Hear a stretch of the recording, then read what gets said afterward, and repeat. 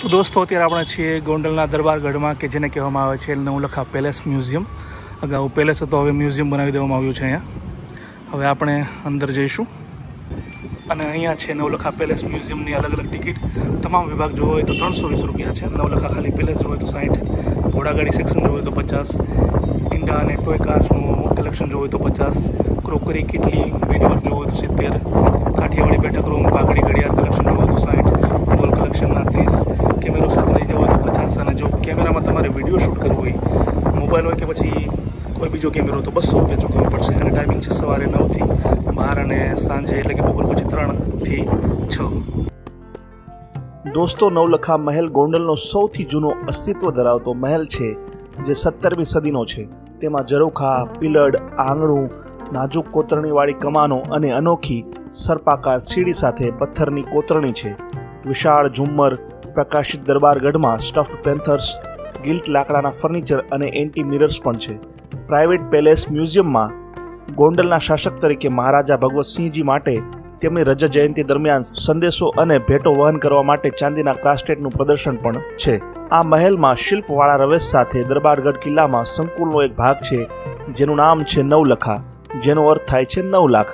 જે તે સમયે તેના નિર્માણનો ખર્ચ આટલો થયો હતો.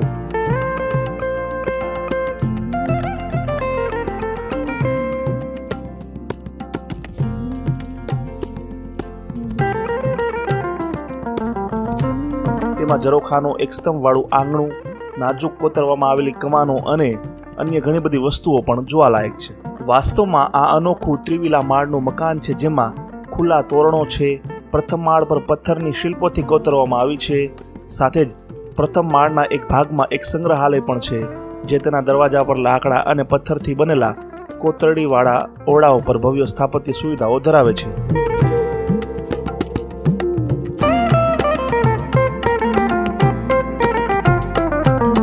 સંગ્રહાલયમાં પ્રદર્શનોમાં મોટી સંખ્યામાં રમકડાની કાર, ચિત્રો, પુસ્તકોનું પુસ્તકાલય, ટ્રોફી વગેરેની મહારાજા દ્વારા એકત્રિત કરવામાં આવેલી વસ્તુઓનો સમાવેશ થાય છે. જૂના કાઠિયાવાડમાં લોકો કેવી રીતે રહેતા હતા, કેવા વાસણોમાં જમતા હતા, તેમની રહેણી કહેણી તેમની કાર્યશૈલી, તેમનું જીવન કેવું હતું, તે તમામ બાબતો તમારે જાણવી હોય તો ગોંડલના આ મહેલની મુલાકાત ચોક્કસપણે તમારે લેવી જ જોઈએ.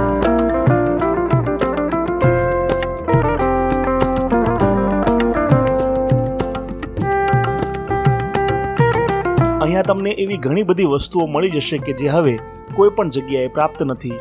મોટા ભાગના લોકો આવી વસ્તુઓને લગભગ ભૂલી ગયા છે. અંગ્રેજોના સમયમાં ગોંડલ એક મોટું વિશાળ સ્ટેટ હતું, જેનું બહુમાન હતું ખાસ કરીને રાજા ભગવતસિંહજીએ જે કાર્યો કર્યા, તેના કારણે વિદેશોમાં પણ તેમનું મોટું નામ થયું હતું અને આપણા દેશના જે મોટા મોટા રજવાડાઓ હતા, તે રજવાડાઓ પણ ગોંડલના રાજા ભગવતસિંહજીને એક રીતે કહીએ તો માન આપતા હતા.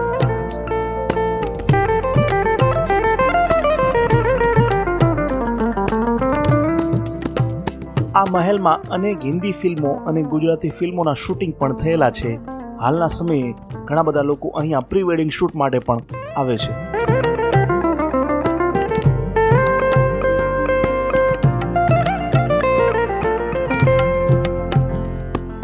તો આ ભગવતસિંહજી જે બી બોલ કહ્યા હતા પોતાના પ્રજાને, તમારું ને મારું મુખ્ય કર્તવ્ય ગોંડલનું ગૌરવ કે જેને માટે મેં મારી જિંદગી સમર્પિત કરેલી છે. તે પાર પાડવા હું નિરંતર સમર્થ બનવું એવી મારી પ્રાર્થના અને ઓગણીસો નેવુંમાં લખેલું છે. જો તમને સૌરાષ્ટ્રની કાઠિયાવાડની સંસ્કૃતિ અને ઇતિહાસમાં રસ હોય, તો આ જગ્યાએ તમારે ચોક્કસપણે આવવું જોઈએ. હા, એક વ્યક્તિની ટિકિટની પ્રાઇસ થોડી વધારે છે એવું મને લાગ્યું. સામાન્ય લોકો કદાચ ચાર પાંચ લોકોનો પરિવાર અહીંયા જોવા આવ્યો હોય, તો તેમને આ ટિકિટ ના પોસાય. જેથી આ મહેલની, આ મ્યુઝિયમની ટિકિટ થોડી ઓછી હોવી જોઈએ તેવું મને લાગી રહ્યું છે. બાકી ઓવરઓલ મારો એક્સપિરિયન્સ સારો રહ્યો.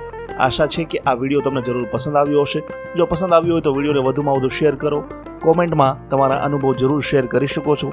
સાથે જ આગળ પણ આવા જ વીડિયો જોવા માટે મારી આ ચેનલને સબસ્ક્રાઇબ કરો. ફેસબુક પર જોઈ રહ્યા હોય તો મારા પેજને ફોલો અને લાઇક કરો. જય જય ગરવી ગુજરાત. જય હિન્દ.